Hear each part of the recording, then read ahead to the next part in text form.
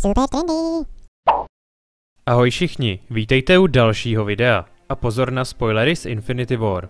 Pamatujete na moje video s plánem Doktora Strange, který počítá s Tony Starkem? Tak dnes si to spojíme s Tonyho zálibou ve vyrábění obleků a představíme si Thanos Buster brnění, které by se mohlo objevit v Avengers 4. V Infinity War jsme viděli to doposud nejpokročilejší Tonyho brnění, které bylo vyrobeno z nanočástic.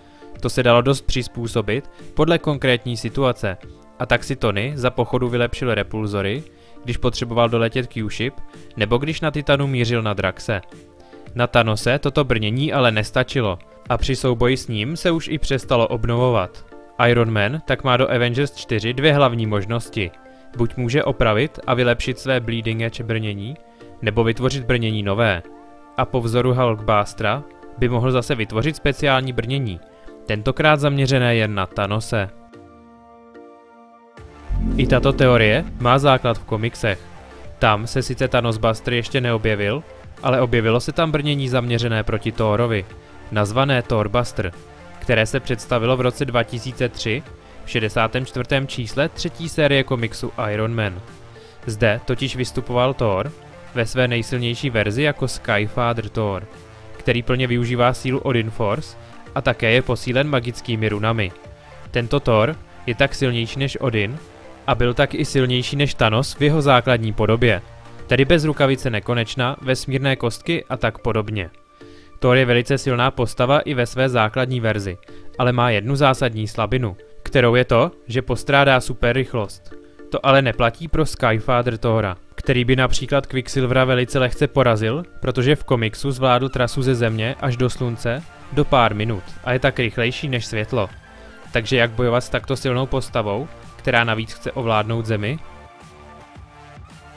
Prostě si proti ní postavíte speciální brnění, což udělal i Tony Stark, který použil Asgardský krystal, který mu v komiksech dal Thor ke studiu. Ten ale použil místo svého obloukového reaktoru jako zdroj energie pro brnění Thorbuster. To bylo kombinací Starkových a Asgardských technologií a díky krystalu i magie. Dlouho tak dokázal Tony se Skyfather Thorem držet krok, protože i on sám byl zaskočen sílou Thorbustra. A tento oblek byl tak na úrovni té nejsilnější verze Thora. Odin Sun ale nakonec dokázal zničit reaktor v podobě Asgardského krystalu a Tony jen tak tak unikl. Každopádně podobná verze brnění, která by se jmenovala Thanos Buster, by se Tonymu v Avengers 4 určitě hodila. Na výrobu tohoto brnění by tedy bylo potřeba jak kov Uru, ze kterého je vyrobeno třeba kladivo Mjolnir, taky velké množství energie.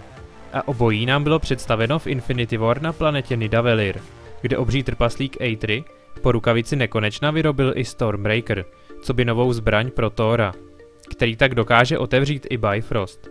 Takže cesta na Titan pro Tonyho a Nebulu, pak zastávka na Nidavelliru a pak teleportace k Thanosovi by se díky tomu vešla do pár minut filmu.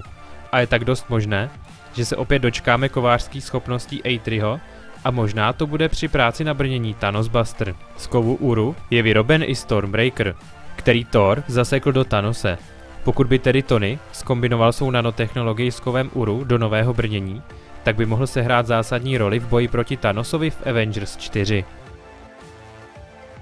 A3 může v Avengers 4 sehrát ještě velkou roli. Na konci Infinity War po Thanosově lusknutí totiž byla rukavice nekonečna viditelně popálená a trochu zdeformovaná. Jednotlivé kameny nekonečna sice fungují, protože Thanos se pomocí kamene prostoru teleportoval pryč, ale je dost možné, že rukavice samotná použití všech kamenů najednou nevydržela a Thanos může po Aetrim chtít novou rukavici. Každopádně Thanos bude oslaben a nejspíš nebude moci využít plnou moc rukavice a kamenů. Takže Thanos Buster brnění se bude rozhodně hodit a mohlo by i chvíli vydržet. Díky všem, co jste se na video dodívali až do konce. Pokud se vám teorie líbila, tak nezapomeňte dát like a odběr, aby vám už nic neuniklo.